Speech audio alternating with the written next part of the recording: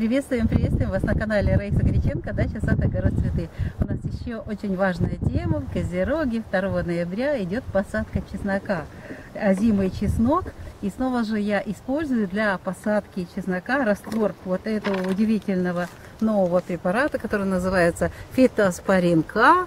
И э, очень хороший в том плане, что если холодно, то в почве он засыпает, а только создаются благоприятные условия, просыпаются вот это фитоспориновые как раз организмы, там сеная палочка, и начинает работать. В любом случае у нас в теплом месте я развела как раз по инструкции и на полчаса замочила вот чеснок. Э, это у меня уже завершающая посадка.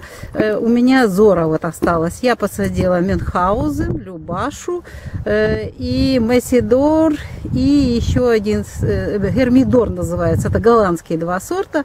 Вот. И остается у меня зора. Это в прошлом году я покупала и развела. Вот довольно-таки крупный, красивый, вот замоченный. Он у нас в растворе фитоспорина.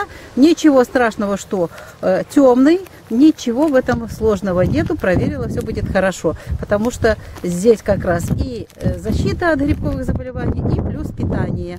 Ну, а сейчас пойдем на грядочки, покажу, что мы будем и как мы будем высаживать его. Вот я сапкой сделала такие луночки, луночки глубиной 5 сантиметров. И проливаю снова же раствор фитоспорина. Видите, какой он?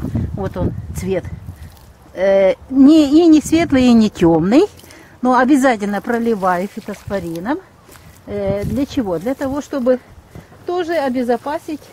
Длинная-длинная э, будет у нас как раз э, весна. Я, я сначала водичкой пролила, сейчас еще, вот, еще фитоспоринчиком.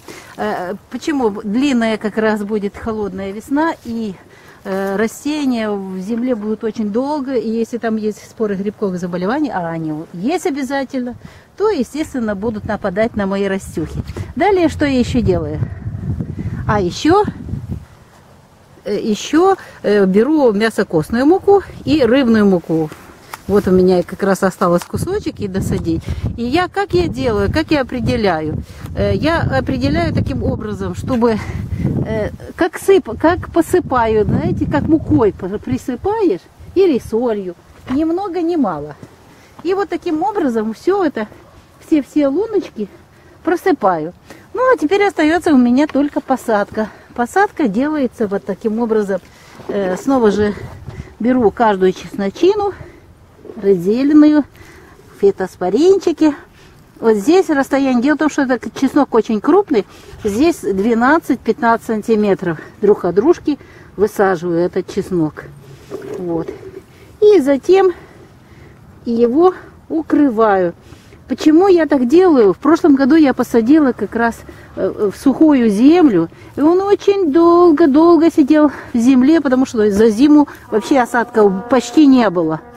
А раз осадков нету, естественно, не было ни корневой системы, никакого развития, ничего не было в э, вот этих растюхах, вот этих прекрасных э, зубках чеснока.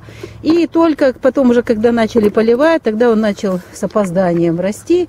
Э, пока э, капельная, э, систему капельного орошения расставили. В общем, целая история, и мы опоздали. Поэтому немножко у нас чеснок был мелковатый в прошлом году и лук. Поэтому в этом году я лунки заливаю. Верить в то, что пойдет дождь, мы верим, но его все нет и нет. Поэтому вот такая технология, это новая технология. Э, сразу же ставлю и мясокостную муку, и рыбную муку. И, естественно, вот, вот замачиваю для того, чтобы, во-первых, напитать их питательными веществами, вот эти зубчики, ну и защитить в зимний период и весной от спор грибковых заболеваний. Как только потеплеет, сразу же споры грибковых заболеваний начинают с дождями или с чем там попадать в почву, а тут их ожидают уже сеная палочка с фитоспорина. И не будет им пощады. Вот такая важная тема. Нас остается немного времени. И вот это то, что у меня осталось, чеснока зора, досаживаю. И завершаем вот эту посадочную как раз работу. Посадочной э, озимого чеснока и озимого лука. Мы прощаемся с вами. Всего вам самого-самого доброго. Пока-пока.